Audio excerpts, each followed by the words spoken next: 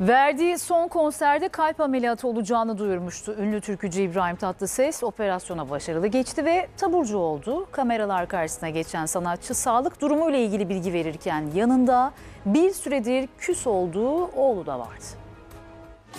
Belki de dilimden bu şarkı düşmez Yani ben ameliyat olacağım hocam. Hakkınızı helal edin, duanızı eksik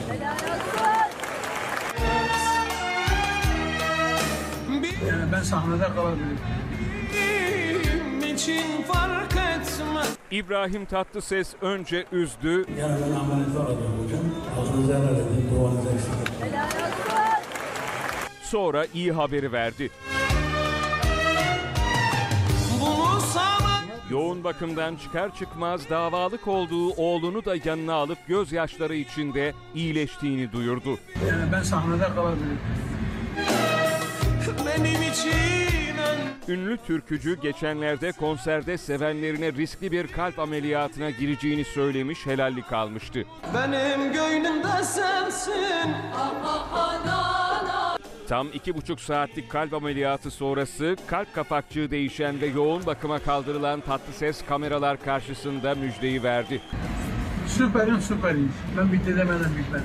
Demiyorum, Allah bitti demedim. Orada beş gün sonra sahneye çıktım. Arasının bozuk olduğu bilinen oğlu Ahmet Tatlıses de babasını yalnız bırakmadı.